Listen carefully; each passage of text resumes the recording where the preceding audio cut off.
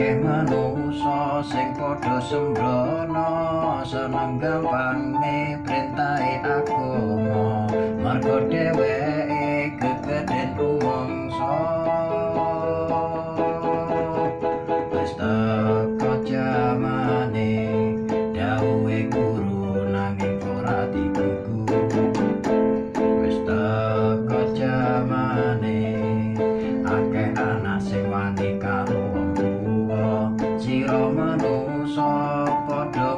ngerti ya bubare donya ora kena disangka.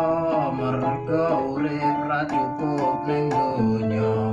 Mula kudu tetep eling lan waspada. Wis teko jamane akeh masjid apik ning